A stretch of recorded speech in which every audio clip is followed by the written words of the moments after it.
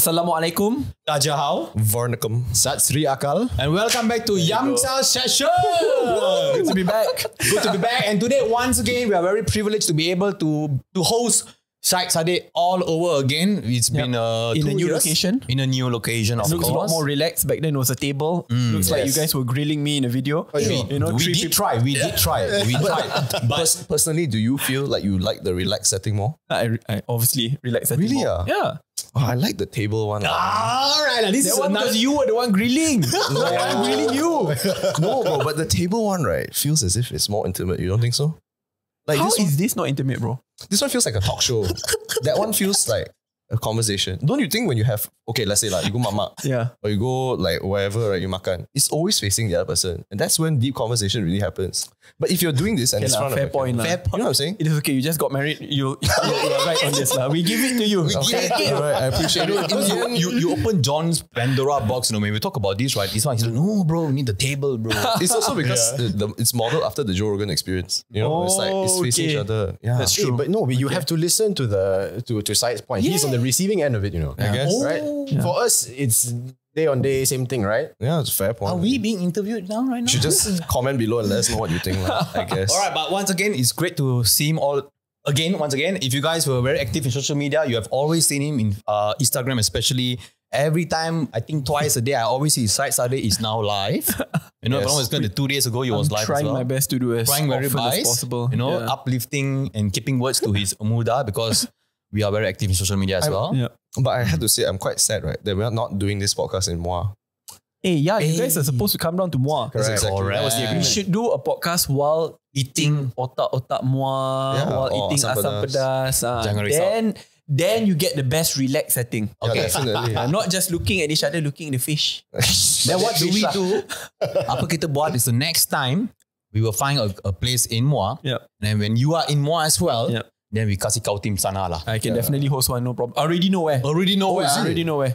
You want to do inside kebun durian can. You want to do next to the beach can. You want to do. we need power, bro. We need electric generator. We, we Oh, will, yeah, I forgot we will solve the we will solve the manpower generator issue. You It's know? okay. I was looking at all the places in Muar actually. Yeah. Like where to go, where to go. I was around to contact, but in the end, he was like, I think we do it in KL. I'm like, okay lah. Because your schedule is here, time right? I asked Ain or Jack alright. like, if we can Yeah. do at Muar. It is okay. Di mana ada kemahuan, di situ ada jalan. Wow, cik. must Okay lah. lah. Let's go to the first question.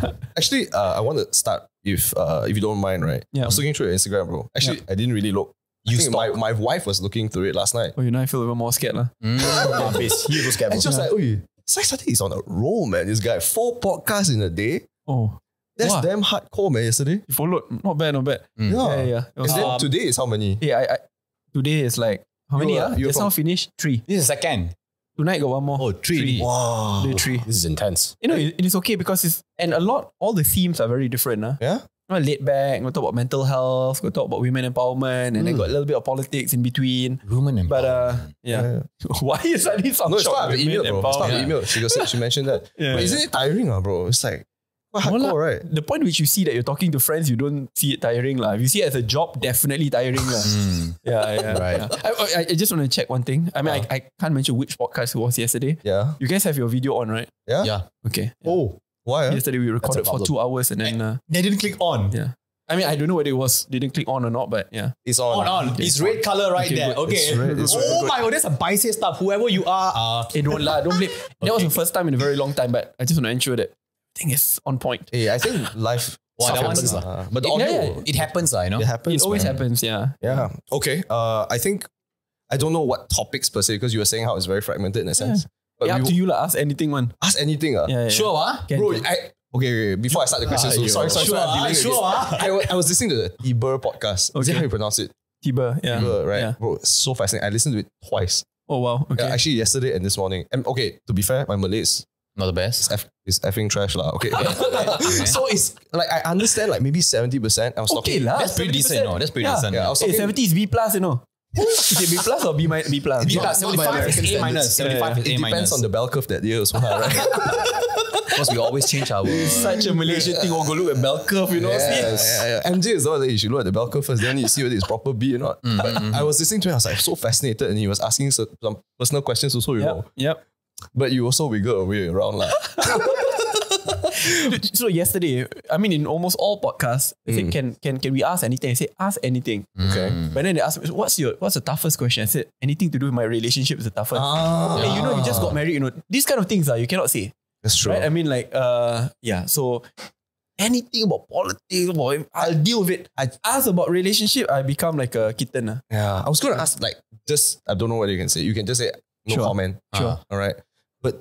But if you have a partner or you don't want to say whether you have a partner or whatever, Okay, right? okay, okay. Helping me already. hypothetically, Okay, in, that, hypothetically. in that hypothetical situation Okay, right, okay. in which you have that partner, right? yeah. Is that person just very private and she's like, I don't want to do anything with your public life? Not that simple, lah. Is it? It's not that simple. Often there may be overlaps. Okay. um, especially in terms of friends, family. Mm. programs occasionally. So it's not that simple. Okay. Yeah. Okay. yeah. I got you. I got you. Ideally, there should be like separation, but uh, it's much easier said than done. Yeah. There is Yeah. a quote you mentioned in that podcast or, the, or some other podcast Mm. you were saying how in government it's not black and white, it's a lot of grey. Correct. So I Uh, suppose that is also practiced there. lah, I especially guess. when it comes to relationships Stuff. and and when you're also in politics. Yeah. Mm. Because your Yeah. private life is like no longer private lah. It is, man. It's quite tough, man. So now you know how uh, Spider-Man Peter Parker feels lah. right? I guess. the reverse, bro. You're right, right. He wears the the reverse. mask and he gets the fame, bro. right, Okay, right. it's literally the reverse. Okay. Right. It is the exact reverse, you know. Exact- yeah, exactly. Can keep privacy, can wear the mask. What mask can I wear? Oh, bro, I have, a, I have this great idea. Yeah. I don't know whether you're up for it. I'm not for it. Why? But if you do LASIK and you wear glasses, apparently no one can tell. Huh? So what? if, if you do Kent? LASIK, if Okay. it's that Clark Kent effect. Okay. You know, if you do LASIK and you just stop wearing glasses, people Okay. identify your, your face as this. And then when you wear glasses, people won't identify you. already. Then you're not supposed to identify me. Last time I went on your show, you I weren't wasn't wearing- glasses. yeah. yeah, yeah, yeah. so, now now But now we know lah. You tell us you're meeting there, and then takan I like don't know, right? But if I walk by you, maybe I wouldn't know. So, right? Okay, okay, okay. okay. okay. We- Clark we- Kent, Clark Kent. Yeah. Okay, Clark Kent, Clark Kent, Clark Kent. Clark Kent. Also, a quick shout out to MJ from Viral Podcast. Right, he's the one that's uh, letting us use his Hosting us. studio for today. Thank you, thank you, thank you. Yeah. Yeah. Thank you. I also want to highlight how there was a restaurant named Susano also who offered to do Oh, the wow. podcast there. Wah, can Yeah. makan there. The one is not exactly Tapi- halal lah, bro. but it was it's a very nice place. Can makan lah, can yeah. You can go around it lah. Yeah, But d- do you watch Naruto? Yeah, I do. It's a Naruto themed bar. Huh? Yeah, Yeah, it's bro. got the Seriously? stuff behind It's there. the best. There is none Oh like it. wow. You have the Sharingan. Rinnegan. Where is this at? Right? It's OUG. Where, where our nearby wow. studio, the previous studio. I oh, feel that's really fun. I feel like when you promote Muar, Mm. I see myself promoting OUG as much as you promote Muar. but except OUG, I feel it's quite overrated when it comes to food and the parking is quite bad. Yeah. So I will I will say negative things about OUG lah. Aiyo. Just when it was about to look, oh, bagus, was- bagus, and then But it's bam. got Naruto bar though, so that supersedes everything. Oh my god. Yeah, Like, true that. Yeah, Okay, man. great. But now what we, go- do? We're yeah. gonna go to the first question. Yeah. I mean, not question lah. Our first thing we want to know, right? Okay. So, like, if I'm not mistaken, next week we do have an election coming up, right? Yep. Okay. Yep. So, like for me, typically for individuals or Malaysians out there who don't really follow politics much, but want to know some sort of stuff going on in Malaysia. Yeah. What is the manifesto, right, Mm. of your party? So actually tomorrow we are announcing it. Oh, we are literally shit. So announcing this- it tomorrow. But don't worry, we are posting our For video the day Ah, after. It's so okay, okay. fine. Yeah, yeah. I mean, uh, but but just to show why it is important to talk about ideas, because when you don't talk about ideas, you don't talk about principles, Yes. you don't talk about values, Mhm. then in the end, politics get overwhelmed with issues of race and religion. Mhm. Because when there's a lack of direction and there's a vacuum, that vacuum will end up being filled by something which is very easy, which is emotions and sentiments tied to race and religion. And that's why I think for Muda, we're going to focus a lot more on policies. So tomorrow you'll hear our policies which we want to implement in the six states, whether it's about having the third vote, which is local municipal elections, Mhm. whether it's about compelling everyone uh, in positions of power to declare their assets, whether it's about creating an independent body to select anyone and everyone who wants to be appointed on GLCs, state GLCs, to become even ahli majlis and go to kampung because today it's all based on uh, on, on political cronism and Mhm. political connections. And more than that, it's about having investing a lot more in public transportation, moving up the hierarchy of renewable energy, and above and beyond that, also to ensure that we reform and overhaul our education system, moving away from the typical race-based system to one which merges merit and needs-based. So it's very long. It's quite a lot. However, I think the ultimate goal is to build a system of politics which is not reliant on personalities or hyperpartisanship. Just imagine a world in which, imagine the most hated person you have in mind, that person becomes prime minister, Wow, but our country, our country will still be in the right footing, right direction because it's not based on that individual, but it's based on Right. institutions Mm. which supersede personalities. So that's the summary of it. Yeah. I, I didn't I didn't hear you touch on the economy. What's what's Muda's plan on the lot. economy? So, right? well, that's, that's, that's a very good question. First thing first, we need to acknowledge this are localized state elections. So state elections, different states have different interests, have different expertise. I think if we look at Selangor, um, for example, currently, since the past 10 years, it has always been the economic engine of Malaysia. About a quarter of our GDP per capita, our nation's GDP per capita originates in Selangor. However, I think when it comes to the development of renewable energy in Selangor, I think we're still far, far behind. That's where you see a lot of the multi-billion dollar investments, whether it's on data centers and RE are actually being focused in Johor, which to me is a wasted opportunity because two key reasons. One, I think Selangor as a growth hub, as a lot of smart manufacturing enters, it must be powered by RE. If not, smart manufacturing data, data centers will not want to enter because the precondition set is RE. Two, Selangor could also be the state to export RE to states like Penang, which already has major semiconductor hubs there, right? Smart, uh, smart manufacturing, smart factories, etc., which again requires that. So I think one is Selangor must transition from a carbon-intensive economy to one which is um, reliant or powered by renewable energy. That's one part of it. Secondarily, behind it, I think Selangor must compete with Johor and Penang to be the smart manufacturing hub because currently all the major semiconductor industries in the world, actually parts of it are being based in Penang, right, which I think is great. However, I think the expansion plan becomes very, very tough because Yes, of the lack of land, etc. I think Selangor is uniquely placed for that. And I think we should actually captivate that and above and beyond it, provide unique matching grants to bring in major institutions in Selangor powered by RE and a non-bureaucratic system. That's two. Three, I want to talk about entertainment, uh, entertainment tourism, right?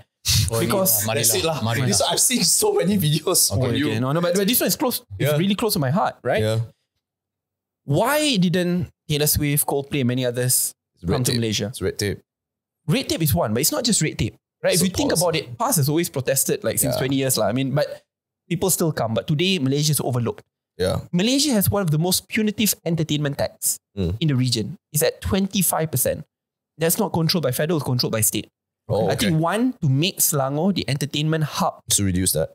one is to reduce and where we can give exemptions, give exemptions because the multiplier you get is so much more. I think there's so much articles and mathematicians and analysts showing that one dollar you put in into entertainment tourism, you get $10, uh, five to ten dollars back. That's one. Secondarily is the advantage of Selangor, we already have good infrastructure, Stadiums. big stadiums, right? yep. Singapore, biggest stadium, 50,000. Selangor now, when you want to remodel, it may go up to 60, 70,000, Yeah. right? So we already have good infrastructure, good connectivity, now with exemption of entertainment tax. And above beyond that, a non-bureaucratic process. I think we can become the entertainment hub. But why do you think they, they, the tax is so high and why do you think they make it so difficult? Because if it is, it is what it is, right? But there has to be a reason why it is that way. It, oh, it's almost as if it's created to deter entertainment. Do, don't you feel? Yeah. So it's it's it's very weird, right? Back then, 1980s, 1990s, they picked us first Yeah. because we were very flexible in our taxation system. We gave a lot of exemptions, etc. Yeah. Singapore then was very punitive, and today is opposite. It's a, it's a reverse. Reverse. Singapore, and and mind you, I don't think we should only just wait for people to consider performing in Southeast Asia. Singapore, Right. in terms of their entertainment, tourism, uh, marketing, It's very incentivized. even during times of COVID, Yeah. That's when they went to actively pursue and sign exclusive deals. That's why, for example, Taylor Swift picked Singapore exclusive six days. exclusively six Yep, days. Yep, yep. That's 300,000 tickets sold. It means a minimum of at least half, 150,000 from abroad coming in, buying flight tickets, hotels, Accommodation. Yeah. F&B, shopping, name it. I mean, everything. And the trickle down is amazing. I mean, they also have to convert their local currencies to Singapore dollars to spend there. So, I mean, one, the other part is obviously on entertainment, uh, tourism, which I think we need to also look at. So, it's a, it's a multiple, I mean, Selangor, Subang in particular is also uh, um, an aeronautical hub, especially for MRO. I think we should capitalize on that. We should really work together with federal government to ensure that uh, Subang Airport can be upgraded, not just taken over by private sector, which has been proposed before. But what I did propose as an alternative, I remember in 2021 when a private group wanted to privatize Subang Airport, which I disagreed. I think Malaysian airports look at it, elaborate, have the expansion plan, focus on on making Subang Airport not just you know an airport, but also a huge MRO hub around it, not just servicing clients here in Malaysia, but regionally. I'm going to sound like I'm not like. What, what does MRO stand MRO for? is it? In a way, it's for maintenance. Ah. Uh, so maintenance of aircrafts, uh, at the same time upgrading. I see. Uh, so it's not so all aircrafts have thousands of parts. Yeah. Malaysia will not be able. For example, Malaysia cannot compete with the Airbus of the world Mhm. or Boeing's of the world. But what we can do is to get Airbus and Boeing to product uh, to produce specific parts I see. in Malaysia for export. For an example, many of us may not know, but a lot of the parts in our Apple phone uh, are actually produced in Penang Oh, sure. and then exported abroad. Yeah, so it's quite interesting. Uh, so Wow. Malaysia, I mean, th- this is another part which a lot of Malaysians don't know. I mean, we always think that our economy is largely powered by Petronas and oil and gas. Yeah. To some extent, it's true, but the bigger sector is actually E and E. So again, we don't we don't come up with like a whole iPhone, But part of it. but a lot of the parts of it, semi, uh, our, our semiconductor industry is huge. It contributes almost a quarter of our export. The, the, the, the value of our It's quite export. insane. A quarter. Yeah, exactly. I think it's 22% last I checked. Damn. Uh, so yeah, I mean, Malaysia actually is quite a decent country. We are, we are the, in a way, the supply chain of the world. And Malaysia should always be the supply chain. But where I feel very passionate about, we should not be the low end supply chain. lah. Yeah. We need to climb up that supply chain so that in the end, uh, we don't just uh, extract raw minerals and export. We extract, we, produce, we get the parts, and then we export. Do not lose that competitive edge. I think you mentioned before on the previous podcast, Muar is like the third biggest furniture exporter in Yep. Asia or something Correct. like that as well. It's Yep. crazy, man. We export, Muar, the small town Muar, Yeah. export 11 billion ringgit of furniture per annum. It's crazy. It is unbelievable. I mean, most likely the furniture we're sitting on now is also from Muar. Yeah. When I was studying in NUS during lockdown, they placed me in uh, one of the best hotels. I think it was Shangri-La. When I met up with the hotel manager, I, I know this chair. I mean, I've seen it more. and then initially the manager said, no, no, no, no, it's local made, it's from Muar. Eh? And then uh, You flip it. check, and then, oh, it's in Muar. I was like, it's okay lah, Malaysia, Singapore, local made lah, same. you know, I was joking. joking lah. It's a very nice way to Joking, say joking. lah. Underdevelopment. It's just a very nice way to say. But I didn't realize this. And I think when you said it, I was like, oh, interesting. So I decided to make a detour because I was working in Johor for Yeah. like that week. I told my colleague, I was like, I want to make a detour to Muar. Yeah. Just to try the Asam Pedas and Yeah. see whether there's a lot of furniture factories. Yeah. It's true enough. I was like, well, damn. Yeah, a lot, a It's lot, a lot. Yeah, yeah. But, But, left and right. but the problem uh, in Muar, if I may share, and this is also the problem in a lot manufacturing sectors Mhm. in Malaysia, is that we're we're still the OEM of the world. So we produce it, but we don't know how to put it Market in, it. Uh, market it, interior design, have our own brand. So that's Yeah. an issue. So in the end, we'll always be subjected to that low end supply chain and almost largely reliant on foreign workers. Um, I have nothing against foreign workers. It's just that we need to start moving into automation. Yeah. But for that to happen, and this is why I feel very passionate as well, something we should do in Selangor, the matching grants should be grants based on companies, manufacturing, SMEs who are willing to automate. Yeah. Let's say you It's put an in incentive. lah. you put in five thousand dollars, government put in another five thousand dollars, but as a consequence, instead of needing to hire ten foreign workers, you can have you can hire three locals who are paid highly. I think that's a very good transition as you move up the socioeconomic ladder. Cool. Actually, but you know, if you want to go into the tax and everything, also, I remember I was talking to Andrew about this. He was saying, I don't know what the statistic is, like how many people, how many percent of Malaysia only pays tax, right? Like Uh, 25%. the important statistic is 85% of income tax is paid by the T20. That's true. That's Yeah. very true. But at the same time, So, almost the exact same amount percentage of petrol subsidies also go to the T20. yeah. Ah, And uh, I can name so many things. Almost all the monopolies in Malaysia, uh, whether it's concessions, go to the same group, many, many other things. So that's why in Malaysia, I mean, I have nothing against the T20. If anything, when they make profits, it also means we tax them and we Yeah. get the money. However, above and beyond it, we need to create a system of equal opportunities, not equal outcomes, Yeah. uh, regardless of race and religion. So that means uh, Oh. restructuring our economic system. That's actually a great segue to the, the next question into Alright. education. Yeah. Actually. Oh, that's why I feel more special. Anak cikgu mesti. Let's go lah. okay. cikgu. Nak cikgu, yeah? You know, Mm.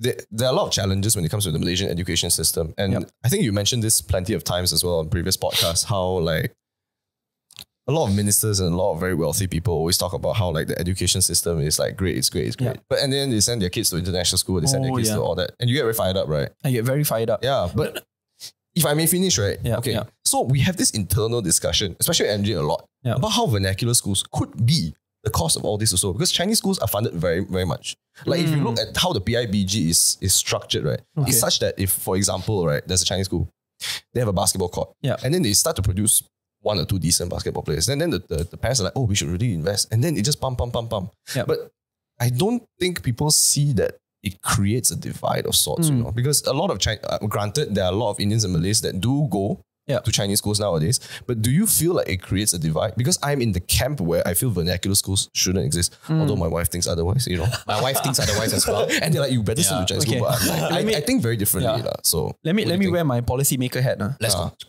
When we start only associating blame to one schooling system, like vernacular school, Yep. and we say we need to abolish it, it opens up the floodgates to other abolition of different school systems. For example, whether it's about religious schools, Mhm. Tahfiz, Yep. international, private, and many others.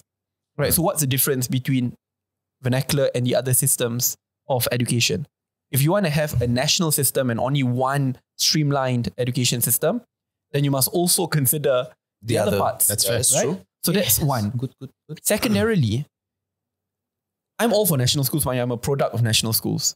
However, I think the policy of coercing and forcing without improving does no justice to the system. I we see. have to actually ask a critical question. Why are parents today, not just Chinese and Indians, ah, Mm-hmm. I think you know the data where vernacular schools today are actually becoming more and more multiracial. Yeah. But above and beyond that, even middle class Malay parents Are sending. are spending a quarter of their of salary. their salary per uh, per month to send their children to private international schools. Yes. You mentioned that I in the previous one as well. that is a that's a very big concern, Yeah. right? I mean, it shows that there's a lack of faith. There's no confidence in the existing system. Correct. Yeah. So that's where I feel very passionate about overhauling our public education system. Instead of taking out all the options and competition, we should actually be improving it so that it's so good that parents want to send. So the That's a fair vision or the ideal education system which I have in mind, one is decentralization, give a little bit more flexibility and powers to state. Sarawak, uh, for an example, has not just legalized UEC, but above and beyond that, now we'll be experimenting on English schools as well. wow. The point is, as you have other systems, you can collect the data and in a few years' time assess compare. what's good in this in, in this system, what's bad, and then from Sure. there onward, apply it statewide. So decentralization to me leads to better data collection, better experimentation, better decision making. That's true. So I, show another example of what of what decentralization can do. Remember during times of COVID, Yeah. Yeah. right? Whenever federal government says all schools are closed, all schools are closed, Yeah. right? In a decentralized system, if you are in, let's say, you are in uh, Ranau Sabah, and that's a green zone, yeah. right? And the majority of students there do not have access to internet and also They're online gone. education. So when you without decentralized education, they have to all close down as well, and they will be disconnected from education for one or two years. While someone in KL, Get while schools are closed, can go for online education. So decentralized education matters, right?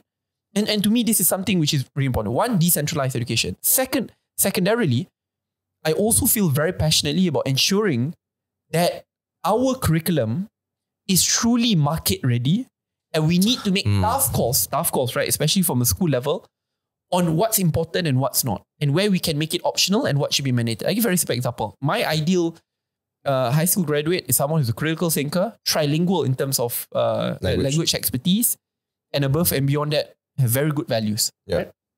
So moving in, one is I think it's not ju- it's not just about being bilingual, it's being trilingual. I think when you do that, that's where you see a lot more people wanting to go to national schools. Above and beyond that, being a member of a select committee in parliament dealing with education, I like to suggest for that select committee to also look at the auditing of the school curriculum. Because let's be very frank and honest, right? Mm. Why aren't Chinese and Indian parents, hey, now even Indian schools, I, I'm not sure if you know, Huh? a lot of Indian schools are closing down. Ah, Yes. serious. They are closing down. a lot of Tamil schools are just yeah, closing yeah, down. yeah. I'm sorry. Uh, Not, Tamil not, school. not enough people Yeah. are going. Exactly. Right. So it, it, it, it is an issue. At the same time, there's a there's a exodus from national schools as well. Right. And that's where people think, oh, now it's becoming more and more monoethnic. So we need to ask ourselves these serious questions. And how do we get them on board? But it must be done via a bipartisan system. Why I say via a bipartisan system? I can be a reformist in education, but if 10 years down the road, government changes and the next government Yep, It will change. it will change. So that's why I think Yeah. it must be done via a select committee. A select committee is internal, bipartisan, not much of populism, will go straight to the data. I think it can be done because again, ah, even when I meet with the past MPs, the Satu MPs, Mhm. when I see where they send your children to, I realize, yeah, they actually send your children to private international schools Yeah. as well. Some send abroad, UMNO sends abroad. And then they start to realize, hey, actually, if you take away all the noise, they know that there must be an overhaul. Yep. Right? So I think that's uh, second. Third, uh, where I also feel very passionate about, this is where we go a little bit more into higher education. I think we need to transition from a pure race-based assessment system to one which is needs-based and merit-based. This sounds controversial. However, Mm-hmm. I want to say this clearly. A needs based and merit based system assists everyone who is underprivileged regardless of race and religion. So if there are more Malays who are underprivileged, yes. Yeah. But my case is very simple. Why must you give priority, let's say whether it's on scholarships, etc.. Yeah. to rich Malay kids? Yeah. And depriving the opportunity of a poor Indian or Chinese kid. Right? It is that simple. Or poor Malay kid for that for that matter Correct. as well. Uh, Yeah. Poor, poor, poor Malay kids as well. So a needs-based system is not pure merit like, oh, you come you, you come from a super rich family, you can go to tuition, right? You can get all this, and then you get 10 A's. And then obviously someone who comes from poor family, you You know, don't have tuition. right? yeah, You and then get, have- get seven A's or that, that person will be kicked out. No, no, no. It looks at your socioeconomic background as well. But race alone should not be the ultimate consideration. For example, you know, I, I remember when, when I'm, I was having this discussion, a lot of people actually don't know the data points behind it. We said, no, no, current system is already merit based, you know. It's not based on race. merit demerit. is it? I'm like, hey guys, do you know that, for example, for Asasi Foundation, it's almost 100% Mm. carved out only for one. When it comes to mat- um, matriculasi, it's 90 10. And some will say, oh my God, Saddiq, you're going against the constitution. I'm not. This is a policy issue because previously the, the percentage has changed, right? Right, right, right. From 60 40 to 90 10. So it's not a constitutional issue, it is a policy issue. My case as a policymaker, I want to make it better for all Malaysians and to assist the underprivileged so that they get equal access or equal opportunities, not equal outcomes. Because I be- firmly believe that if you give a chance to a Malay kid, right, who comes from an underprivileged family, you give him a chance, he will not need crutches for the rest of his life. Definitely. Mm-hmm. Because in the dependent, end, he can prove himself. I do not believe when people say that just because I come from a specific skin color, from a specific religion, immediately I'm classified forever yeah. Underprivileged, that I'm forever weakened, that I'm lazy, that I'm incapable, and that I cannot compete on my own merits. That is not true. If anything, that weakens my community more. It creates a negative perception and it tattoos a perception that I'm forever incompetent and weak and I'll forever be crutches. No.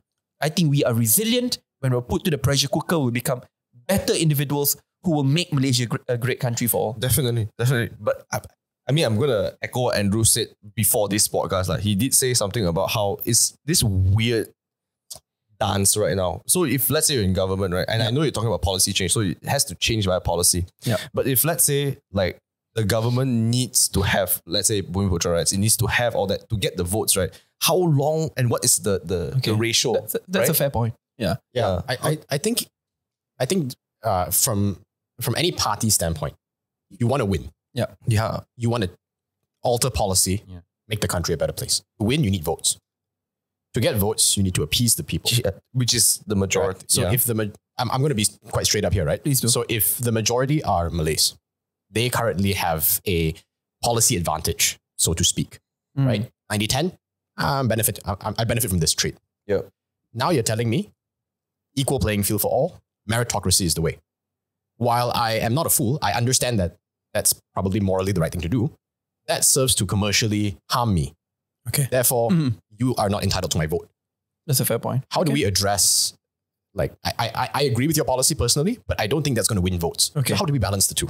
So this is the problem, as I shared at the beginning Yeah. of our podcast, that when there is a lack of a vision, there is a vacuum, and that vacuum immediately gets filled with divisive issues of race and religion. Practicing the politics of pandering and a lack of a vision actually divides Malaysia even more. Where you try to appease one side so much by pandering, you will actually lose support from both sides. And in the end, you pull Malaysia away from the middle. And in the end, we all suffer. So allow me to make my case. First thing first, I'm not here to advocate for complete removal. I'm realistic. Hmm. And that's why I always follow data points. When I talk about policy changes, I'm in line with the federal constitution. I show a very simple example. Why do I advocate for an overhaul of the NEP? I advocate that because after decades of implementation, equity among Malays have not actually increased to a level in which it targets, which is 30%. It, there has been an increase, undeniably, from 2.7%, now we're about 13 to 15%. You take away the GLCs, it becomes even lower, by the way. so the point of the matter is, it's not a race issue, it is a policy issue. After decades of the same policy, which is meant to alleviate poverty among the Bumiputras, a quarter of Bumis in Sabah still live below poverty line. I'm not even talking about middle class, below poverty line. Again, it shows a systemic policy problem. But to compound to that, when there are policy problems and you insist on remaining status quo while creating the misperception towards the private sector, towards all races and religions in Malaysia by saying that we will forever need crutches, that when we succeed, it is because of our race and our quotas, it actually weakens and takes away the hard work, diligence, the innovative minds of Malay leaders, entrepreneurs who actually made it on their own. And that misperception, I think, hurts the community even more. So, what am I advocating for? I'm advocating for a data driven decision making process. So, obviously, for example, will Syed Saddiq abolish MARA? No. But does that mean, for example, that other funds should be created to ensure that every single Chinese and Indian kid who performs decently in his or her academic uh, uh, education and comes from an underprivileged background should also get access to a scholarship? 110% yes. Right? So the point is, you don't have to make radical changes immediately. I mean, if I'm Saddiq, I come and I say, I'm going to abolish the, uh, what this the, these provisions in the constitution. I mean, I mean, first I'll go to jail. Yeah, yeah. But secondarily, even as a policymaker, I'm thinking I'm being I'm being very dishonest to myself because opening it up completely without it being data driven is actually very dishonest as well. Why? I give a very simple example. Data has also shown that the Indian community in particular suffers from intergenerational poverty the most. The most. Right? So there must also be, no, no, there must also be specific policies to assist. I mean, I'm not I'm not living in a in a what is it in a singing kumbaya or in a utopia thinking oh Malaysia Malaysia will never care about race and religion. No, no, that's why I'm saying it's a merger, but it cannot just be about race. That should not be the only determinant. That's why I say a needs base which assess everything, your socioeconomic level, where you stay, whether you're in Wilayah Sabah, or Sarawak, Pedalam, this should all be factored in, and that data points then direct to genuine good policy making. So I give one simple example. Um, so a 19 year old lady, Chinese lady recently who didn't come from a privileged background, got into Harvard University, I saw that post. Yeah. but did not get into our pre-U. What does that tell you? You didn't get into our own preview. Our, Correct, Yeah. into our own pre-U. Got into Harvard University, bro. God damn. And got into like two or three different Ivy Leagues. wow. Okay? I mean, if that doesn't signal a breakdown of our system, I do not know what That's else. so true. is such a waste of talent. Okay. I want to ask, let's ask all Malaysians, including Malays, who misses out when she leaves Malaysia, She vote with her feet, pack up her bags, leave, study there, get a job there, smartest and brightest, and in the end pay taxes there, we builds up the infrastructure, the technology, the SMEs there. We lose out regardless of race and religion. And that's why I keep on sending this point that Malaysians must see themselves and their lives and their future as a shared dream, that our lives and fate are interconnected with one another. When we succeed, we succeed together. When we fail, we fail together. Because this is not like the 1900s, you know, where, for example, people can say, Alah, you can lah, you know, when the Chinese fails, uh, when when when this country goes to to to to to the dogs or when there's war, they'll go back to China. Oh, India fail, go back to India. Hey, these are third, fourth, fifth generation today. They, they don't know anyone in China and Yeah, India. bro. Yeah, I mean, I don't. exactly. We yeah, were I mean, both in China. We know. There you go. We, I be I'm like, oh my god, I miss KL so much. yeah, yeah. Bro, this is Tanah Tumpah Darahku, bro. Exactly. Yeah, man. Literally Yeah, man. song right there. Yeah, so the past is the past. I'm not saying that we should forget our history, but do not allow history to impede our ability to move forward as a country. So I'm advocating for a system which gradually shifts in that direction, driven by good policy making and ensuring that the underprivileged, regardless of race and religion, while acknowledging that a lot of them are Malays, will be assisted, but not through one-off handouts, not Through data. assisted you know, just by following all policy making which have been proven to fail, but structurally to ensure that they have access to equal opportunities. I believe doing that will help my community a lot more than the old power structures which hurt us. Actually, I think he's right. Like you see, for example, right, Malaysians, right, when shit hit the fence, ah, we all come united. Yeah. Like for example, you see the if jo- like- Joanna Choi stuff, not Joanna Choi pula, Jocelyn Jocelyn Chia. Cho- You see Chia. the entire comment, all the Malays, Chinese, Indians, they just coming together and they bash her. Yeah. You know, but then That's another level of unity. lah. That's yeah, yeah. The, the unity is there, you know. It's just that we are not seeing it like what he said in the teams in the point of needs. We are going through race first, and that's what that's the I don't know who told me this, but I think someone What? told me that hate unites people. Hate unites people. Hate unites pain people lah, more pain than lah. love, I think you it's from Naruto lah, pain or something. No, no, no, no. It's Right? hate. It's like hate unites people more than love. That type of thing. It's it's like probably a true, actually. Isn't that Black Eyed Peas? But at the is same love? time, on the flip side, when we see Dato' Lee Chong Wei or many other of Oh, our that's true. athletes, It's like it unites us as total well. unity. So does. instead of, I mean, obviously there's a little bit of negativity uniting people, but let's focus a lot more on the positivity Yeah, uniting people. correct, correct. No, I, I want to talk a little bit more about education, right? Yeah. Okay, but um, so we parents, I think parents they always focus in the their child's grade, Yeah. grades and everything, right? But I noticed that we should that is is Muda going to put any priority in the just money side of education, or like like exercise. like PJK, like Oh, in statistics right now, like one out of twenty Malaysians out there, adults obese. Yeah. Yeah, so that's like we are the America. It's Asia. twenty percent, so one in five. 20%, one Yeah. of five. Oh my lord. Okay. Yeah. And then I'm seeing kids nowadays, Michelin. yeah. Michelin. You know? This guy, uh, this guy confirm gonna get cancer, bro. He just called fake people Michelin, bro. I'm seeing kids, you know, and stuff like that. So and then when in school, right, you only get one one one lessons of PJK. Yep. Which is a week. And If I'm not mistaken, that was how we were raised up. So you get one hour, first 10 minutes to tukar baju. So you have 15 more minutes left. correct. Correct. After that, you must go to the padang. That's five minutes. Then teacher will come late, so that's another five minutes. Then 20 minutes out of the thing. Then warm up, you get 30 minutes. Uh, And then team selection, you get five minutes, so you left 25 minutes. But you need to finish your PJK in 15 Change minutes. clothes, yeah. So you need to change clothes back and go to your next class. So technically, you got 15 minutes to warm up, and then you're going back class. And I and because of that, right, I do believe that people, sort of Malaysians, we are not understanding the technique and the just minds of education. Yeah. And that's why there's we do have quite a number of obese. Even the technique, like for instance, even for all of us, the only time we, we are very well versed in in gym or in, Yeah. I, I think Health, in health in general was in college simply because we couldn't get the girls. Hundred percent. we want to get the girls. We want to get the girls. Either girls. that or you want to go like, bro, big chest, bro. Correct. Is it a two tag? You, go, you know, it's either you chat or you're unseen. You know, It- it- it's true. You know, He's speaking from the heart. I'm speaking from the heart. Why did I go gym? No girl saw me. You know, You I'm married saying- already, bro. Let yourself. But be. married, you know. But I Your think chat or- there is a slight neglecting of PJK, which I feel is very important. If we were to taught them since young, you know, when you when you have greater physique, Yeah. students will be able to capable to study better. Yeah. They are more focused. Yeah. You know, it really helps as well. Yeah. Is, is there will Muda do anything in terms of this? I mean, I believe in overhauling our education system in and out by acknowledging that today it is broken. I want to start by acknowledging mm-hmm. that because no parties want to admit that the system Is is broken. broken. Okay. Guys like Donald How Trump. does it link to? Oh my God! Please don't let Donald Trump. No, I, I like, I like, I, I recently saw a clip. Uh, he, uh, Dave Chappelle was talking about Donald Trump. So what Donald Trump said, he said, the tax system is rigged. You know? And then uh, he's and then Obama and uh, Clinton said, no, it's not. And then Donald Trump said, yes, it is because I use it. Ooh. You know? I'm And it's hard to say no, right? Yeah, It's experience. You know, it's hard to say that. He's like, I use it. And then he's like, whoa, you know?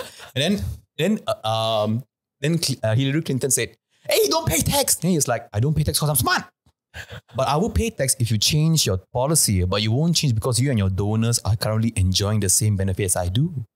Then I'm like, that guy is a god. Either, either way, saying someone sounds like Trump is not a compliment. So let's, let's just Maybe now we know the if, if, if he were in the states, he'll definitely Yeah, what text? Yeah, what text? Yeah, bro, you guys Listen, are God. listen, maybe not like Trump, but what he's trying to say is no one is trying is daring Yeah. to say what they don't they want to say, but he's trying to say that there needs an overhaul. You know, Yeah. I see that vision, like. So back to the point, education system is broken. Okay. And the overhaul, it's not just about syllabus, it's not just about entrance, uh, exams, and getting to universities. But when we start at primary and secondary education, besides syllabuses, we also agreed that in order to get a good quality education, it means that you need to have good values and values which you carry from young to when you are old. Being fit, mentally and physically fit, is one. Trilingual, is another. Confidence to speak, having the innovative critical thinking mindset. These are all tied in together. So when you talk about PJK, it's not just about the PJK.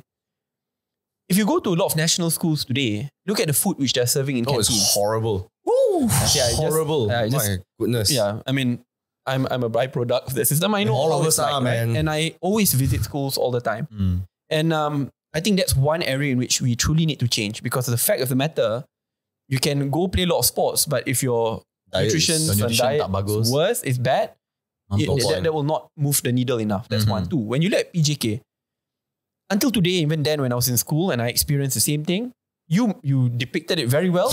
but above and beyond that, usually what will happen, even though there's actually now there's a whole curriculum on what you should do for pendidikan jasmani. But I vividly remember when it was my time, people didn't open the textbook. They just, guys, I throw you balls like footballs. Yeah, bro. And then ladies, Let's go and play. it's like Sounds about Bola right. jaring. bola jaring, Uh, bola jaring or bola tampar. Yeah. And then when No we're done, supervision. That's it. Right? So in actuality, it must be structured. It must teach you good diet. It must teach you different sports so that then you can experiment Yeah. on what Know what you like. correct on what you like because you may not like football. Yeah. Right? So you, you, you need to experiment and it's above and beyond that, you need to really reskill and upskill. Mm. Uh, our teachers, I don't blame our teachers because sadly enough, our teachers today are overburdened and are overworked. And that's not me saying, the data are saying it. They're expected to be, they're expected to do everything, right? They're expected to be a clerk, teacher, then from being a maths teacher, move towards pendidikan jasmani, suddenly from pendidikan No jasmani, being special. moved to Yeah. No science. specialization. and then while all of that is happening, adding so much clerical work on them. So obviously they won't have time to do all of this, right? Correct, correct. So really, I think it's a combination of overhauling our education system. You go to a private international school, everything is very structured, teacher supervision, allow experimentation in the sports which you do. You get really good access to good quality, healthy food. Yes, it is expensive, but I just want to point this out. In Malaysia, we are already heavily subsidizing our public education No kidding. we subsidize uh, sorry, 21% of our GDP per capita is spent on education alone. Oh, wow. Allow me to give you context of how big that is. Singapore spends 11 to 13% No per way. capita. But Japan spends 7%. India spends 3%. Go slow. Malaysia spends per capita 21%. Yet, despite overspend per capita, not G, despite overspend, despite spending so much more than the other countries, our output, a Singaporean 15 year old is three years ahead in terms of I was just going to say that. Yeah, ahead uh, than a Malaysian student. And above and beyond that, Malaysia suffers from chronic underemployment, which means that despite our graduates having good degrees or Yeah, masters, Gig economy. where in the gig economy, you don't practice Yep. what we've learned for the past six years and we have huge student debt behind us. So it shows it's not just about money. It is about having the political and moral courage to revamp our education system to ensure that every single dollar you put in, you get $3 back. Instead of putting in a dollar and you only get back 50 cents. So there's a lot more which we need to Twenty-one change. percent. Yep, 21%. where is the, 21%. where is the twenty one percent going specifically? So if I'm if I'm giving it to the There's a lot. I mean, uh, in, in, in many, dip- so it's from bottom to tertiary education to TVET. I'll give very, yeah, we spend about 8 billion on TVET. That's actually a big amount. Mm-hmm. We have more than 600, almost 700 TVET colleges across Malaysia. Yet, the TVET occupancy is below 50%. And then they incentivize them mad on. They will give you like oh free scholarship or whatever. no, it's right? so, TVET, Go. ah, you enter free. It's free Yeah. education already. You get monthly allowance some more. Ooh, to they pay study, yeah, you get Wow. yeah, you get paid to study. And when you graduate, your employability level is 97, 98%, bro. But in Malaysia, again, we love to spend so much money building new institutions. I think in parliament, every single session, you'll see an MP standing up. Please build a TVET college in my kawasan. Build 50 million ringgit contract, three years to talk because no students. Mm. You I mean, can you look at the number of yeah. Giat Mara which have closed down? I mean, so many. It is the, the take up rate is so low, and that's why I've proposed. You know, now we have a UPU intake. Everyone gado lah, and ev- after every UPU, say, ah, this this is not fair. I didn't get. it." Do we have a parallel UPU for TVET? Despite the fact we have 600 TVET colleges, make it competitive, privatize where possible, so that you get good quality, confirmed salary after, shorten the time I got TVET in Malaysia. You go to sekolah technical or vocational, form 4, form 5, that's two Mhm. years. You don't even get diploma, you get Huh. certificate. Oh. After that, to get diploma, you need to study another three years, So much time. five years. In Germany, ah, you start when you are 15. After two years, you get diploma. When you go to tertiary education, TVET is about specialization. If you want to be, let's say, general TVET, you take photography. When you enter university, some people enter university, you take micro credentials, six months, become a professional wildlife photographer. So you specialize. After that, that means you are four, five years ahead instead of your, your friends who go to university. You have already a general diploma in TVET. And above and beyond that, you have a specialized micro credential in the field which you want. Your starting salary is 3,500 ringgit. an hour. Damn. That's a good starting salary. You should be doing that. But in Malaysia, oh, no, no, no, no. TVET, five years as well. Hey, five years better you go university lah. Yeah, man. Right? Same thing. So, um, but again, every time there's, there's a lack of ideas of political will because it will always be about let's build new. Right? Contracts here, contracts there. Nice lah, right? You spend a lot. So the money is not going effectively. Yeah, It's and you know, I met up with TVET lecturers today. Ah, Okay. My kawasan, ah, they're telling me they're Hmm. not just expected to teach now because the take-up rate of TVET in their college is so low. Now they have additional KPI to recruit students. Oh, they Wow. have sales Sales, KPI. They Yeah, sales sales. Yeah, they're salesmen. You know how sad it is? These are lecturers, professionals who are tasked to teach now. They must also be salesmen That's quite mad, bro. so they can earn an income. I mean, That's quite mad, lah. that does not show that the system is broken. I do not know what else shows. So That's quite mad. again, the conclusion is acknowledge the system is broken, have the political and moral will to overhaul, change, and it counts with good policy making. Question, Syed. So I, I, I believe your stance is Muda's stance. Yeah. Right? Overhaul the system, especially in the, in the context of education. Yep. What are all the other parties doing? Do they not agree that the system needs to be overhauled? Ooh. Before you answer that question, okay, I just want to make a swap with MJ because I feel that MJ has a lot of questions to ask as well. Okay. And mm. every time I have a conversation with MJ, I, I know he's got so many questions to ask. So I just want him to come in. But you hold that question. You just swap with me. Andrew just asked that question. Okay. Okay. So I want you to hold that thought. Whether the parties all agree. I heard that question also, but I'm sure you got something to add to it. Okay. I'm just going to throw. This guy, he's a walking dictionary. and Okay, he's, that's he's good. got a great comprehension Yeah. of Malaysian like history as well. So I Zhuge think, Liang yeah. level, you know? Zhuge Liang. Yeah. Yeah, yeah, yeah, yeah. Zhuge Liang. Yeah. This is Yum Cha session featuring Viral right now. start yes. Happy to have you here. FT, No, it's a FT. pleasure. You're the first uh, politician to sit uh, on that seat. Well, I feel Those very honored. last. You can sell this later in Shopee. yeah, yeah, yeah. Sell on Shopee, ah, wallah. Sudah duduk, you know? Okay, I, I, what was it? Yeah. Yeah. So, so education, it's broken. Overhaul it. That's Mhm. Muda's stance. Yep. In the context of an election, it is essentially a competition between parties, Correct. right? Who has the better policy that Yeah. speaks to the rakyat? Correct. Personally, I agree with your stance, but Yeah. that's just me. Yeah. The other population, everyone else is evaluating these policies. Yeah. What are the other parties' stance on education? How do you compare to them? Yeah. I mean, as I shared, these are not rocket science ideas. To be very frank and honest, these are not even my ideas.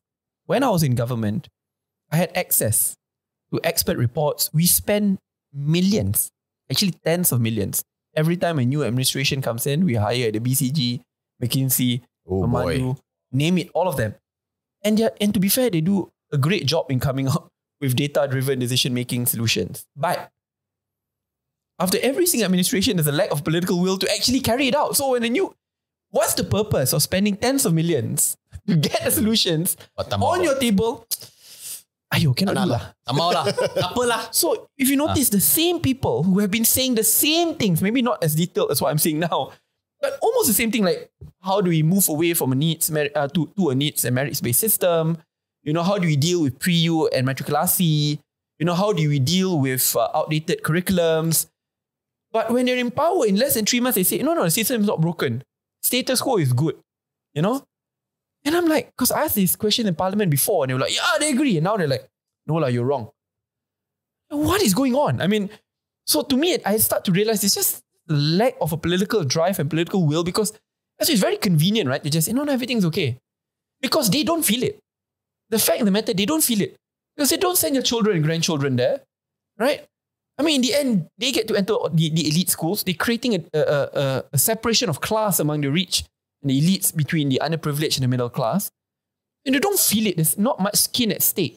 I think it's it becomes because a problem. privilege is invisible to those who has it, Yeah. right? So so my hope is this, right? I hope there will be a contestation of ideas on these issues. And whether I win or not, I mean, I'm going to be very frank, right? Muda enters, we're not even contesting like 10%, not even 10%, I think heck, 5%, right? I mean, we're only contesting 15, 20 seats out of like 240. I mean, we cannot change federal government, we cannot change state government, but we can spark a strong discussion on this issue Sure, that's fair. and we can push it through so that in the next GE, if they still don't listen, then I think it's time for us to go big. I'm hoping they will listen.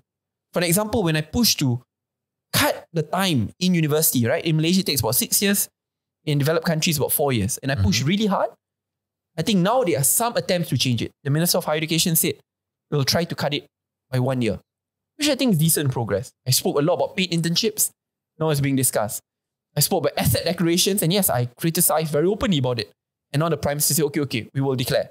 Right? Even though he said that the same thing like six months ago in January, lah, Yes. it didn't happen. But the point is, at least there's, there's it's responsive. Yes. But it just shows that having a voice of conscience and an alternative is very important because to expect, sorry if I get a little bit political, All good. Perikatan Nasional to do this, they won't. They won't bring this up. I mean, so I mean, you need you need another party who actually cares about policies to bring this up, and I'm hoping that Muda will be given a chance to do so. So, in, in, in your opinion, is Perikatan, Nas- Perikatan Nasional not a party who cares about education at all? Is that is that the stance? Name me the education policies which Perikatan has been talking about. Can't name you a single one. Exactly. So he I, says I a can't lot, name as well. To be Mm. honest, I mean, back then I remember they removed PMR, PT3, UPSR. Um, sorry, UPSR actually. Yeah, it was you it was done. Uh, PT3 was earlier, uh, which I agree. So that part, great, right? But uh, what else? I mean, at that point in time, a, lot of uh, a lot of students lost about two years uh, of education because they, their own ministry data shows that half of them do not even have a laptop, tablet, or smartphone. Right? I haven't even started about internet access. Oh, That's two years of lost education. They are now the lost generation. They're already three years behind Singapore. Plus two, that's five. when you enter university, we graduate two years later, that's seven years. Seven valuable years. I think that's where we need to play catch up, not just catch up. We need to turbocharge our education that's system right. forward. Okay, good. I mean, undeniably, I think we can all say education is very important because the it is young people who's going to carry up Malaysia later on. Yep. So hopefully, kalau you menang, hopefully we're going to see a change, which is great, which is great. But also, we're talking about change, right? Moving on earlier when we were talking about economy and, and Yep. stuff, right? You mentioned about the Johor sector stuff. I think Yep. this is because we do have a alliance or whatsoever Yeah. with Singapore, right? Yeah, so Lion, so I uh, think buddy buddies. recently Yeah. um, um, Rafizi Ramli uh, talked about wanting to introduce this special economic zone between Ah. Johor and Singapore. And so this is obviously That's this is your, your your your this is your area. And then Yeah. apparently there's going to be some Malaysian Singapore retreat, Malaysian Singapore leaders retreat where they will discuss these issues, right? Um, one of the big issues, uh, one of the big mysteries actually is why is it that being so close to a financial center, Johor is not quite where Shenzhen is compared to Hong Kong. Uh, Iskandar. Forest City was That's always ex- oh my god, he took my argument already. Oh, uh, Yeah. you know, Iskandar Forest City, you Correct. know, you know, they were wetting Singaporeans' appetite via the next Shen, Johor is the next. Shenzhen, right? Correct. Outside of maybe Pengerang and Legoland, Yeah. there, I Which always mind you, felt that- Khazanah at one point in time considered to sell, but yeah. yeah, I, I always felt that there are there are a few underperforming states in Malaysia, and Right. I, I have to be honest. I think Johor and and Malacca are two. I think safe to say Selangor and Penang are up there, but Yeah. Malacca and Johor, is. What what are your thoughts? What what what why is it that it's taken so long to create this zone when it's Yeah. like so obvious, right? Yeah, I mean to, to be fair, to be fair to Johor, despite it's not under our administration, to be mm-hmm. fair, they've actually attracted one of the largest FDIs in the past few years, and I have to give credit where credit is due. However, I think when you say lagging behind, despite us being neighbors to Singapore, we Yeah. could have like go all the way up. So, for an example, you mentioned about the leaders' retreat. That's nothing new. I remember every year we have that with Singapore, Yes. like prime minister to prime minister, three or four years or something. Correct. yeah. and um, having a um, entertainment entertainment economic zone in which we could discuss, deliberate, and make joint decisions. To some extent, we also have that as well. To me, it's not just about having it once a year. There must be top level um, um, management, joint management meeting every month with Singapore. We should not see Singapore as a competitor we should be seeing, Singapore as a collaborator. I give a very simple example. lah. Back then, we did not want to sell renewable energy to Singapore because we were fearful if we sold to Singapore, then our RE independence in Malaysia will be weaker because we will be focusing on exporting to Singapore. Sure. And two, we will lose the comparative advantage and data centers will pick Singapore instead of us. So data centers, one RE, Singapore production of RE is like four, five times more expensive than us. There are thousands of data com- data center companies in the world.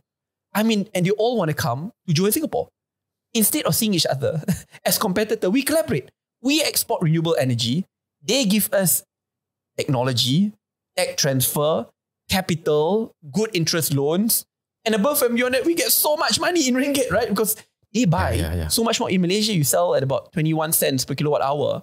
You sell to Singapore, you almost get one ringgit per kilowatt hour. I mean, we benefit so much. And then we can, we have the economies of scale, we can grow, we can become regional power when it comes to RE. That's what you get when you see them as collaborators, not as competitors, right? That's just on RE and data centers. There are many other areas, right?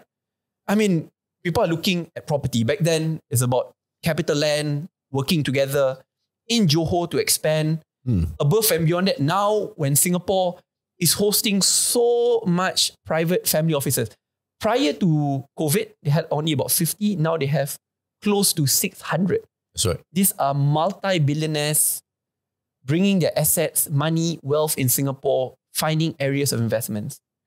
It's okay they pick Singapore, bring their money here. Malaysia, Singapore having that joint, that high joint committee, pick areas, streamline areas of investments, joint investments between countries, redirect wealth there. It's a win-win. Singapore today, their politics is suffering from, to some extent, a little bit of xenophobia where now they no longer want to accept people from abroad, smart, talented individuals. Well, it's okay. Malaysia can benefit from it. Instead of Malaysians flying, staying there, cost of living being ridiculously expensive, now get Singaporean companies, not just the big ones, SMEs, to hire Malaysians in Malaysia. Just pay us 50% more, not even double, 50%. No, um, they, they can even afford to pay us 50% less than what they're paying in Singapore, but yet in Malaysia, we get double the amount Yeah, boy. and we get work flexibility. Work right? from home. Work from home. Our cost of living, our, I mean, uh, it's a lot more affordable than Singapore and good income. I can, I can name one by one areas of joint investments in which we could work together. But the end goal is this. What, I mean, how do we treat and how do we treat Singapore and how do we see Singapore as a competitor, as an enemy? You know, I see Singapore as a family member, inseparable Ooh. from Malaysia, But while different sovereign separated countries. brethren, yeah. Yep. But we are family. I mean, effectively, we are family. A lot of Malaysia and Singapore now kahwin one another. We are family. Right? I mean, it is impossible to, to, to, to think of a conflict between Malaysia and Singapore without hurting our family members. Right? I'm, to some extent, half Singaporean. My father's side was from Singapore. Hmm? I mean, I'm the one of the rare cases where my father was Singaporean, became a Malaysian. Quite rare, right? Usually it's the other way around. Unfortunate, sorry. Yeah, I, mean, I think it's fortunate. I defend that decision. But, but that's like, I mean, the point is, it is we are inseparable, right? So see that relationship as a collaborative relationship, not one which is of pure competition. And I think we can really turbocharge this region's economy for even on entertainment. I mean, you can imagine if we just work with Singapore, our country, both Ministry of Tourism, in Singapore cannot host all concerts. ah. I mean, I mean, if not, they, they don't have a lot of stadiums. ah. I mean, they we have a lot of stadiums. Can you imagine if our concert organizers, federal government, state government works together to pursue all these big concerts? And we are truly multiracial diverse, whether it's in Mandarin, Tamil, Arab, Malay, Brit English, and then host it here. We have eight, we have a stadium capacity 85,000, 70,000, 60,000. Right? They can't host everything, but we host it together. We pursue it together. So when they come to Southeast Asia, going to Singapore is like going to Malaysia, going to Malaysia is like going to Singapore. We share it together. It's okay. I mean, the point is, it's limitless opportunities. And maybe we can bid for a World Cup in the future. eh? Exactly. I, I mean, mean, see that man one day. yeah, yeah, I mean, uh, yeah. So we can bid for so many things together, but that relationship must be inseparable no matter who is in power. And I think that's where it's not us leeching on Singapore, it's us building on each other's strengths and addressing each other's weaknesses together. Yeah. And I think people don't realize that Malaysia's ceiling is a lot higher. Yep. Right. But uh, you know what? One thing, what I'm hearing from you now is a very free trade, free market oriented um, approach to things. Yep. Which is very interesting to me because I think just a few days or perhaps a week ago, About it was week ago. announced that uh, Muda has decided to work together with PSM. Yep. Uh, and for those listening who aren't aware, Party Socialist Malaysia, not known to be uh, advocates of uh, free, market, economics, right? so maybe walk us through the decision to to work with them Sure. as, as as a political strategy. Uh, this one is like to be to be sorry. sorry. I, want, I wanted to just put some Naruto meme, but you just continue. okay, yes. I Stop. wanted to say like I want point it. Uchiha and and Yeah. Uchiha and Yeah. Hashirama. Stop, lah. Senju, Ah, Senju. Senju, Stop, sorry, sorry, sorry. Stop. We get it, we get it, we get it. Right. Continue. to be very frank and honest, there are a lot more commonalities than differences. Even when it comes to dealing with the economy, I mean, we do believe in progressive taxation. We do believe in building a system of equal opportunities, not equal outcomes. We do believe in unionizing workers and labor movements. There's actually a lot of similarities. Obviously, when it comes to trade, I do believe in open trade. But at the same time, I want to ensure that I, I want to ensure that it is fair. Because the last thing which you want is to open up the floodgates and lose whatever competitive edge Malaysia has. And above and beyond that, only benefit one country over the other. If, for an example, we open up our markets, but their countries don't, where's the fairness in that? Right? So I think in the end, it's always about finding that middle path and middle ground. Are there differences? Definitely in any parties and coalitions will be differences. Can we manage it? I think yes. Because in the end, I think everyone will still pick that center, that, that middle path uh, in moving forward. And we want to see more workers' unions. We want to see wages increase. We want to see uh, uh, labor rights being upheld. We want to see a world in, which provides equal opportunities and not equal outcomes. So if you look at the five uh, principal points which unite Muda and PSM on rejecting uh, politik perkauman, on protecting the majority, labor rights and labor movements. I think these are areas of common interest which we share a lot. What a quick question? What are some of, or what is one big difference between Muda and PSM that you had to compromise on to have this collaboration with PSM? I remember that they were uh, members were saying that there are some policy lines which were just not practical. Some. However, I was sharing, to be honest, even from Muda, there are some ideas which are super unconventional.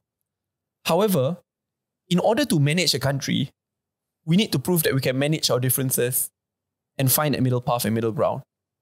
Because managing coalition politics also shows that we can manage um, national politics because it is about compromises and differences. Um, but to be very honest, I think it was very much smooth sailing. Oh, It was Right, very smooth. right. I mean, we I actually met up with them even before GE. And Oh, we were hoping that both of us will be part Mm-hmm. of Pakatan Harapan. We both applied. Actually, they applied earlier than us. Okay. and they got rejected? Uh, yeah, I mean, it was really sad, not just rejected, but they were not even allowed to contest anywhere together. So since you mentioned PH, I think now is a good time to. Well, I was perusing through, I think Malaysia's number one complaint center, Twitter Jaya. uh, That's a very good way of uh, it is a place to explaining Twitter. right? Yeah. It's uh, that's why I like I prefer thread a bit more. It's yeah, yeah, more I'm- positive. I wanted that as well now. Yeah, Yeah. very positive now. yeah, it's, it's the opposite of Twitter, right? Um, and and one of the big criticisms, and I, I think some of your uh, some of the accounts defended you as well, was this whole discussion on Muda being so idealistic. I think you've Mm. Recently fielded a couple of candidates. I think it's Melanie Ting, right? Yeah. Uh, she's 23. Yeah. Uh, are you the oldest in the party? Uh, no, actually, the oldest in the party is a 92 year old lady. No What? Wow. Yeah. No way. I mean, not in leadership, but we actually have quite a number of members who are Okay, old but not interesting. wanting to So be in leadership anyway, roles. Yeah. Muda lah. The reason I, I bring this up Mm. is because I think it's very you have made it easy in a way, Yeah. of course unintentionally, for critics to say, "Wow, you guys are just a bunch of uh, idealistic people Mm. who have, um, on a relative scale, low political experience." And it's Mm. basically to summarize what they're trying to say is, you know, it's a lot more talk than Yeah. is action. Why not trust? People in Experience, experience yeah. and things like that. And there's this whole Mhm. discussion on Twitter. Yeah. I, I want to get your response to that. I think that's, to be honest, I take that criticism with an open heart. It comes from a good place, right? I mean, how do you deal with the lack of experience? Trying. I mean, first thing first is to acknowledge that no Dewan Undangan Negeri and no parliament will be exclusively young. But let's look at the data of today. We are actually a very young population, it's about 28, 29 years old. But the parliament today, the average age is about 55. Almost the Yeah. majority are 60 year olds and above. Where is the youth representation? Above and beyond it, when you look at Muda and our candidates, we have a balance. We have people like Ame, who has had like a 10 year work experience in civil society, different works, you know, working on the ground almost daily, a chevening scholar, you know, graduate from a very good university, balanced, slightly old. And at the same time, you have Melanie, who has been working the ground for the past four years, even while she was completing her law degree, working for different civil society movements, running multiple programs and projects, uh, and fundraising for civil societies, for groups on her own. And I've seen what a young lady like her could do if given a chance. Then it begs me the question if no one gave me a chance when I was 23, would I be where I'm at today? People always look, oh, it's like, that's you, Saddiq, that's you. People forgot where I started. I was a nobody. When I was given a chance, only then can I climb up. Only then can I prove my worthiness. I was given a chance. Why can't I give people like Melanie a chance? While in reality, I think at her age, she has done so much more than me. So Muda is about giving opportunities. And above and beyond that, I like to see this. Right? And it's not just they're like complete fresh you know, experience they, they have. But are they political lightweights? Definitely. In terms of service, they have experience. But the final point I like to make is this, right? Let's look at, for example, where Melanie is contesting. Okay, Antarabangsa. It's under the Parliament of Ampang. She's not contesting to take over the federal government. Federal government, same coalition. State government, same coalition.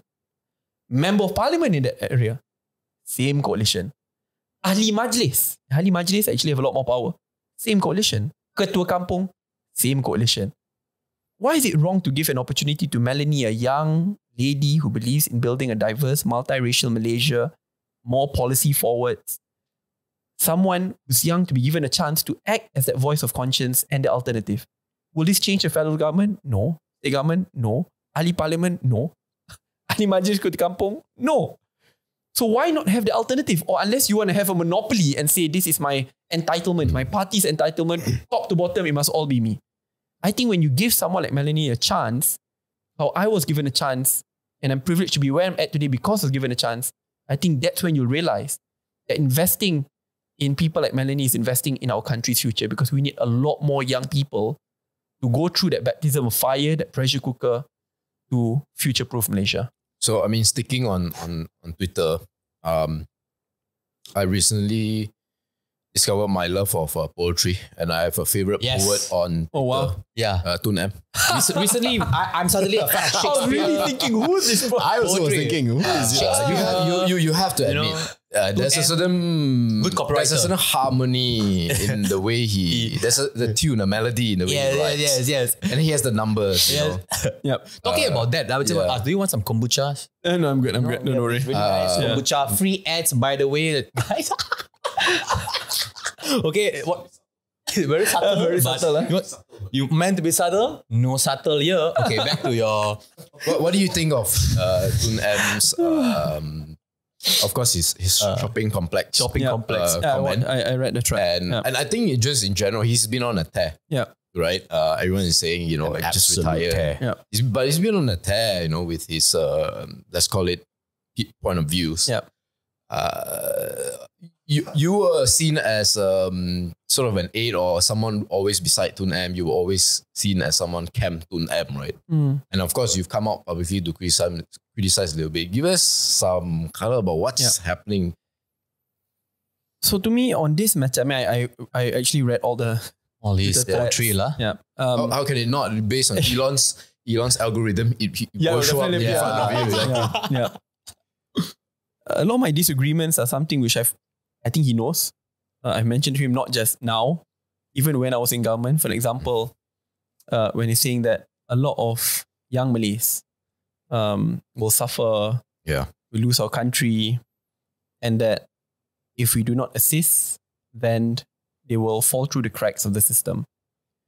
I was giving a different viewpoint. I actually shared my own personal experience to Tun. I said, Tun, I, I- I've actually never met you before. Uh, I've ne- no one in my family is in politics. I come from a lower middle income family. Mother is a teacher, father is a blue collar worker. I went through our national education system, even up to university, a public university, and only then been given the opportunity to be offered by Oxford twice with scholarship and uh, to study in NUS. And when I represented my university in, in Malaysia, when it comes to debating and public speaking, we broke many records, not just in Malaysia and then conquered Asia and then conquered the world. There were no quotas, there were no crutches. We had to compete on our own merits. And mind you, when it comes to language skills, they're better. General knowledge, they started way earlier, right? Uh, I mean, Oxford is the University of Philosophers. And uh, but yet we beat them. We beat them on our own merits. And the one who also broke my record was another UITM debater. And he also competed on his own merits and did it. So I'm saying that do not see young Malays as those who cannot compete on their own. Do not see us as permanently disadvantaged. If anything, we could prove ourselves. We just need an equal round of opportunities. That's it, not equal outcomes. And I, I was trying to impress on that because in the end, it is also very personal for me. Because if everyone keeps on telling me every day that I'm weak, I'm lazy, I'm incompetent, I'm more likely to be that. That's Yeah. probably true. Yeah. right? So, and also, if, Self-fulfilling, right? ah, or if I don't believe it, others who hear it, my future employers, regardless of race and religion, even those in GLCs, GLICs, private sector, SMEs, MNCs.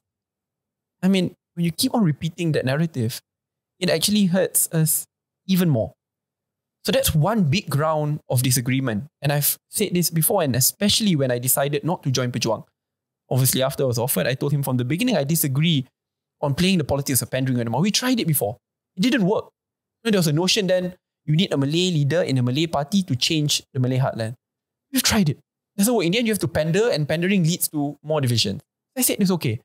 Let's try the politics of changing hearts and minds and investing for the next 20 years. And that's where there's a point of departure on how we view um, the future of a country. And to be honest, I am generasi bangsa Malaysia wawasan 2020. Right, so that's why I remember when he was talking about it, it's like multiracialism is against the constitution. So immediately, I mean, I don't know if you guys memorized the the ideals of, of wawasan 2020. Uh, no. Flying Probably cars. did when I was a kid. Yeah, I mean, I, I, I memorized it. I have to draw all these flying cars. Yeah, Remember we yeah. did it, we were Yeah, imagining yeah. it. but, but it wasn't the flying cars, actually the ideals. And one of the most important ideal is to build a bangsa Malaysia. Wawasan 2020, the most important ideal is to unite different races and religions to create a bangsa Malaysia, which is essentially multiracialism. And that was done in 1992 when I was born. I mean, when we were born. Yeah. Right?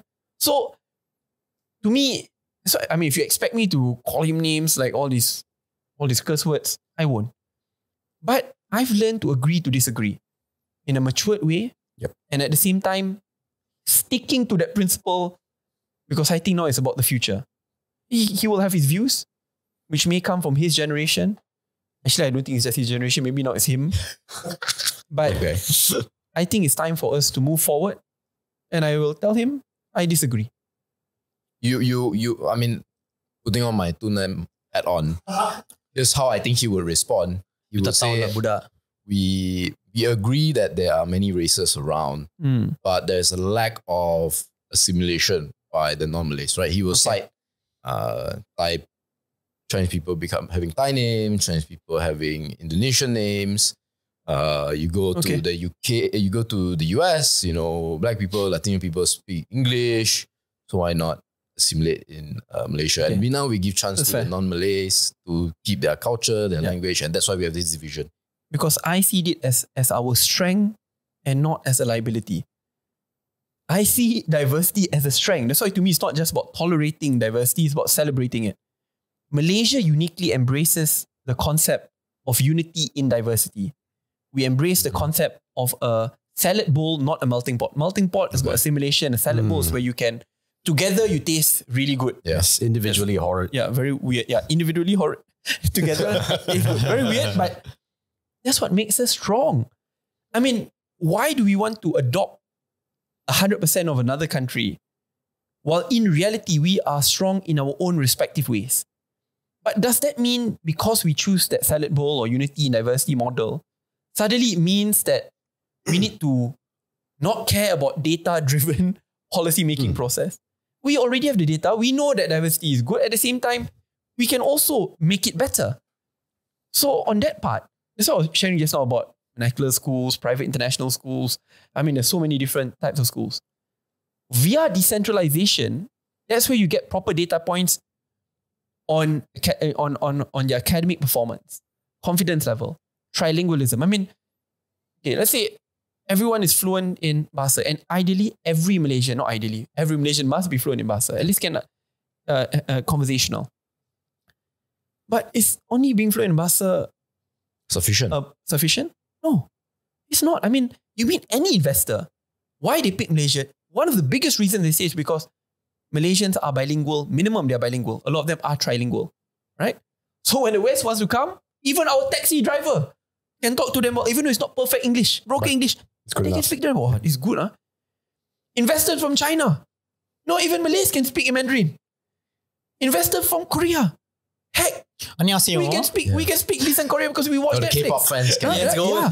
yeah, I mean, my officer has never been to Korea, but can speak fluent Korean. I mean, Wow. Thank you, Blackpink. What that's, an age. that's a strength. That's a strength, right? I mean, why do we see that as a liability? That's why, to me, a bare minimum, our education system, not even tertiary, primary education should make our kids trilingual, right? Bahasa, English, and then you pick. You want Mandarin, you want Tamil, you want Arab, but minimum trilingual. This one, I completely agree. And talking about this, right, MJ, you remember, I mentioned you wanted to talk something about English versus the Malay medium, right? Yeah, I think this would this would be it. I think one of the reason that you've managed to your uh, yes, your merit, but also your ability to reject Oxford is the command of the language, right, of English. And one of the big challenges as a practical standpoint, and this is something that even Singapore faces, this is they are probably more acutely aware of this, is the fact that most uh, people can only master one language. Mm. And I think there's a fear among the uh, Malays or Bumiputras that if you start to put English, naturally, because of the competitive advantages of English, that people will start to push away. And Mm. I, I do understand some of their concerns where they see some of their more wealthy uh, T20 Malays, the TTDI Malays, who uh, see Malay as some sort of uh, you know second class uh, language, and you know why bother, right? I can speak English. So how would you tackle the this issue from a policy standpoint, knowing that it's actually really difficult for people to actually master um, even just one, let alone two or three, which is also probably why uh, it's so popular to pass through in Tun M's era, especially the Malay, the BMization of the syllabus. Yep. Actually, previously in the Tun M's time, he increased the exposure of English in schools. Not just the contact hours for about two hours a week, Okay. from previously one hour. Above and beyond that, it's PPSMI, Maths and Science in English. And if you remember, it became very controversial, a Malay party doing that. Yeah. And after that being reversed, Yes. Yeah. Yep. which I thought was a bad policy making. But put that aside, it's done. That's why I say in the end, we need to pass big policies like this in select committees so that there's bipartisan interest, Yes, that even yes. the government changes, it continues. But moving forward, I believe that if you start young, not just in schools, but that also means uh, unique support structures preschool, right? And exposing our young ones through trilingual Malaysia, they can be fluent in all three. And again, it is about teacher upskilling reskilling. It is about the amount of time and contact hours we teach them when they're young, when they are when their minds are still sponges, not when it is already too late. And as long as they can be conversational in all three languages and still seeing Bahasa Malaysia as the uniting point, I think we will be okay. If you look at the TTDI Malays, to be honest, they may not be hyper fluent, but they can still speak Malay. Yeah. When they go back home, they still speak Malay. When they meet up with their parents, they can also speak in Malay. But they added, why they did the TTDI Malays? Because when they can, I mean, it's not a CTD. I feel bad for all the TDI folks. I mean, you get- No, but why do they have an, a comparative advantage? Because they are trilingual, right? I mean, studies have shown that employers will look for employees who are bilingual or trilingual. And that if you can speak fluent English and can write in fluent English, on average, your income will increase by five to 600 ringgit a month. That is a lot if you look per annum, what more if you spend it out in 10 to Mm. 20 years. Mm. So, in actuality, it makes complete economic sense for us to be a trilingual society. It is a strength, it is not a liability. And just because there are some who may not be perfect in Bahasa, it is not an excuse to stop our country's potential from being trilingual and earning so much more by being trilingual. So I, I I have one last question that is very very important, probably the most important question. But I like to ask the rest whether you have question first. You know which question I'm talking No, about. you ask your most important question. No, I I- got, no, wait, I no. got a more, more Oh important really? one. huh? But this one should be left to the end. So you, You know know what? what? Okay, you so ask yours. Yeah, you I ask think- yours. Uh, we understand that we don't really have much time. We have Yes, other yes. pertaining things to do later on, right? So so far we have talked through everything, right? And Yeah. it kind of feel that everything stems back to education. Yeah. Like if we were to re overhaul education, right? Um, maybe the social range will be help. Yeah. Economy will be help. And economy help. I think if even if we ask questions about wages, why Yeah. our currency are low and everything, in the end, I believe if we solve education, and then if the worker, the, the students who are studying abroad are actually studying here, it will help our currency and our wages because that's where you get investors coming into Malaysia Right. and it fixes a lot of problem. Correct. So education has has to be one of the top priority that needs to be looked and fixed. Absolutely. Correct. So eh, please do something about that. All right. I'll do my very best. So I want to ask about Muda, right? Okay, Okay. as a party, right? I just want to ask some stuff about it, right? How, how can a regular Malaysian citizen who is very passionate about changing the country, how can they join the party? I mean, one, go online, Okay. like muda.my Muda.my and join. and join. Two is my recommendation is to join as many of our volunteering programs. You know, people make fun of Muda saying, Mhm. you're like an NGO just doing welfare work. I wear that with a badge of pride. What are they expecting if not I mean, welfare, right? Yeah, because we're not, I mean, we, we don't have a lot of MPs and ADUNs. What you want us to do? I mean, we do talk about policies a lot, but yeah, lah, there's only one state rep and one federal rep. Uh, but by joining our activities, you'll start, and this is where I really feel at home. And, and when I see this, I feel at home.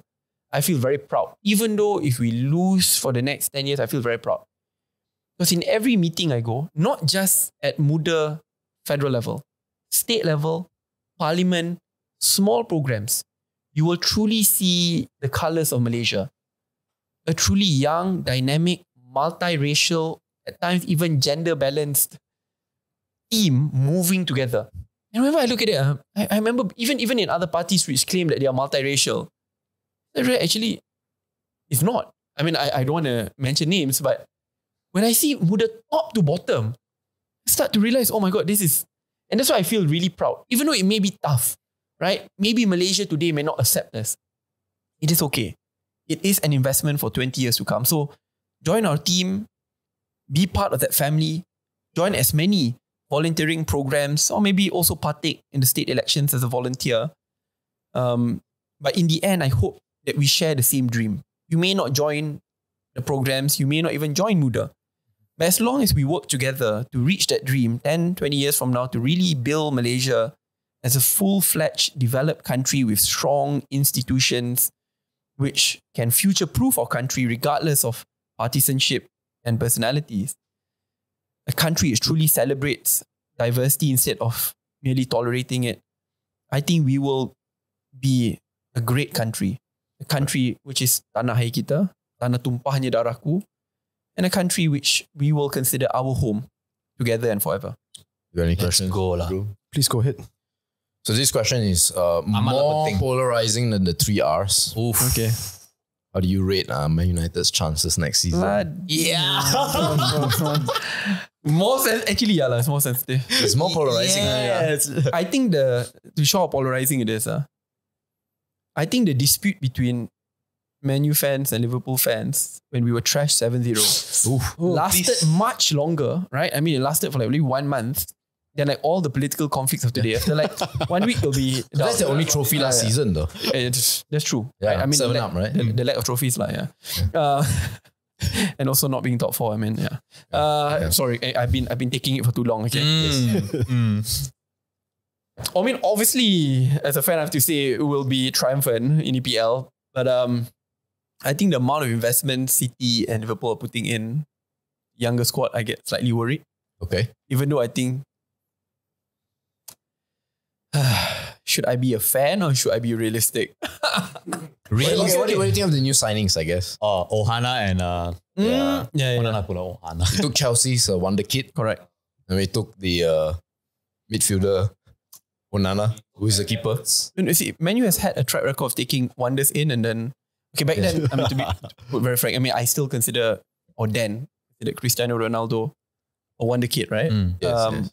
And when he joined again, and then look what happened. So in the end, to be honest, one thing I like about the management today is a lot more systematic. It's not just about relying on one hit wonders, Stars. right? Yeah. I mean, if not, uh, Ronaldo will still be there, and we saw the friction, we saw the interview, and we saw the falling out after. So I think it's all about the team.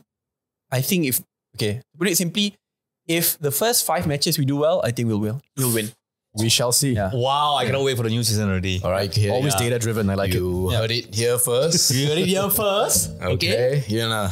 All right. it, yeah. Well, uh, so- it was so great to have you here. It's good to Uh, be back. Oh, I really wait. enjoy talking to you guys. Cannot Yeah. wait to do the next time at this In eating Muar. otak otak Yeah, at yeah. Muar, yeah. Could be the beach. Yeah. Could be a durian pondok. Provided Yeah. there's power. I'll- I'll find the provided power. there's power.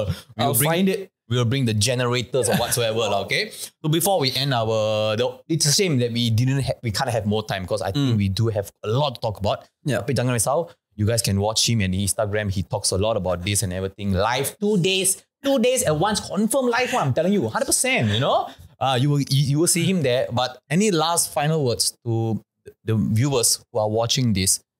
What do you have to say to them before we end it today? I mean, my, my final point is this. I mean, no matter who we are, where we are from, which religion or race we were born into, I hope we still share the same destination. The paths taken may be different. That's why, I mean, I do believe in matured politics. I do believe in bipartisanship. Uh, you may support different parties, you may have different ideals and values, but I hope the destination is the same, which is to build a truly resilient, multiracial, diverse Malaysia in which everyone feels at home and to become a developed country, a Malaysia in which our institutions stand supreme over personalities and hyperpartisanship. And that's why it ties back to one common logic that even if one day we get the worst version of a Malaysian as a prime minister, our country will still keep on moving forward because our civil societies, our population, our systems of checks and balances are so strong and resilient that we'll keep on marching forward. I hope that we will reach that dream together. A developed Malaysia in which becomes the economic engine of growth of Southeast Asia, the bastion of hope of the Muslim world being a Muslim majority country, yet very diverse, multiracial, moderate, economically progressive. I mean, really a success story uh, for the region. I really think that's not far away. It will happen during our time. It's just a matter of time. Very nice. A country full of growth and potential. Well, you guys heard him. Uh. Thank you so much for being here. Cannot wait to see you guys next time. Thank you. Thank you very much, guys.